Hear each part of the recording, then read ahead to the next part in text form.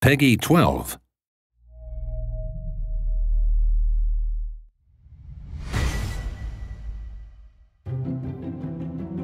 I'm Phineas T. Rotostar, and today I'd like to talk to you about home.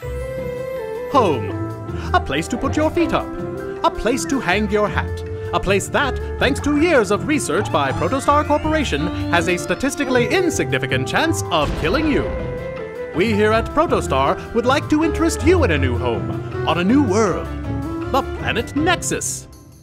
Yes, Nexus. Planet of mystery, world of excitement. Where'd it come from? No idea. But thanks to Protostar, bam, you can put a house on it. Feel the adventure of clearing your land. The pride of building your home. The freedom to make it your own. But that's not all. Plant a garden. Build a windmill. Erect a large, defensive cannon. You can do anything with your land, and thanks to Protostar, the possibilities are endless. Not feeling neighborly? No problem. Space is not an issue.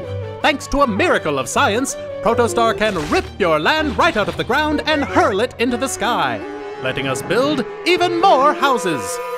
That's right, houses in the sky, because when you think about it, every customer is an island, so why not live on one?